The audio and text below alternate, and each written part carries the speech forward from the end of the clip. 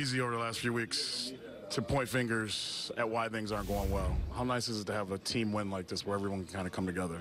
Well, I think all the finger pointers come from the outside. Um, in this clubhouse, I don't think anybody's pointing fingers at anybody. It's a team game. We understand that today was the prime example of an awesome team win. You know, we go down. Trevor pitched a great game, first and foremost. You know, offense did a good job getting some runs on Cole.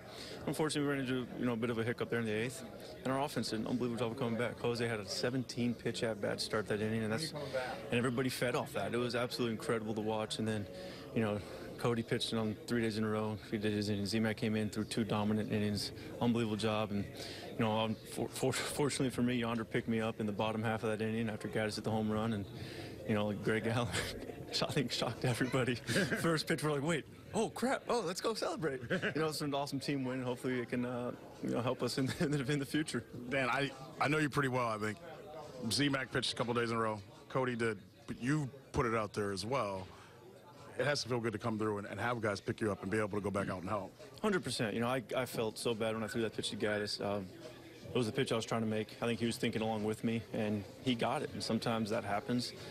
It unfortunately happened in that situation, so it stinks. And when Yonder hit that ball, and Carl told me I was still in the game for say like I was pumped. You know, I got out there, I was tired, I was on fumes, but hey, you just got to do what you got to do. And um, you know, luckily I was made a pitch, a couple pitches to get out of that inning, and uh, Greg hit the home run.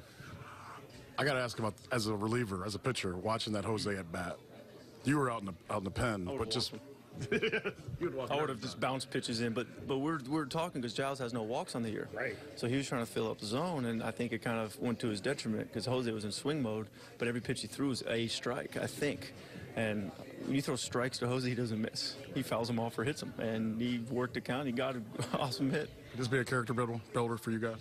Who knows? You know, you never know. Looking back on it, we may say so, but you know, it was just a great team win, and I can't say that enough. And you know, now we have to, you know, we'll celebrate tonight, and then tomorrow we get right back it and play. I think the White Sox. So you know, we're ready to go for tomorrow.